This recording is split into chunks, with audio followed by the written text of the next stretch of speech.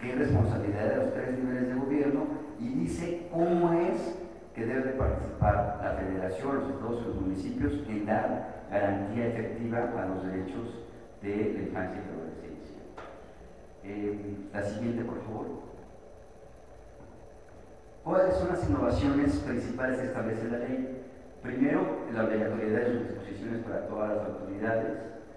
Dos, y eh, algo importantísimo, el enfoque garantista del que parte, o el enfoque de considerar a niñas, niñas y adolescentes como sujetos de derechos y no como objetos de protección. Y que supera esta mirada restrictiva que ubica a niñas, niñas y adolescentes dentro de un grupo vulnerable.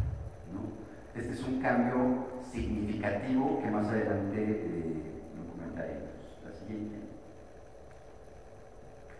También, eh, y creo que este es algo que nosotros destacamos como el elemento más relevante que establece la ley, crea un modelo para la concurrencia y bases de coordinación entre la federación, las entidades federativas, los municipios y las delegaciones territoriales del DF. Crea mecanismos, como lo vemos adelante, mecanismos institucionales para la garantía de los derechos y establece lineamientos y criterios mínimos obligatorios que deben cumplir todas las autoridades federales y locales y establece principios rectores que deben de guiar la política pública en materia de infancia. La siguiente, por favor. Básicamente, lo que establece la ley general es un cambio de paradigma que ya nos había expuesto, digo, ya se había marcado a través de la Convención de los Derechos del Niño, que es transitar de esta visión, digamos, eh, de considerar a niños y niñas como objetos de protección a considerarlos sujetos de derechos. Eh, si quieren, la siguiente mejor este concepto. ¿Cuáles son los cambios fundamentales de este cambio de paradigma de considerarlos eh, en lugar de objetos de protección sujetos de derechos?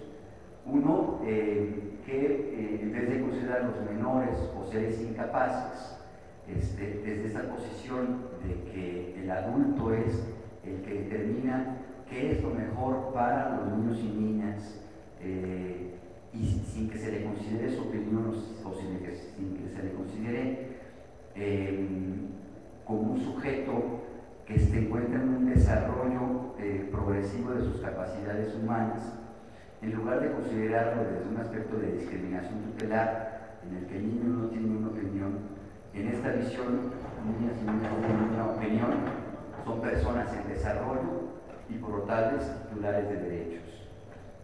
Eh, en lugar de considerar esta visión, digamos, eh, sectorizada o limitada sobre su realidad,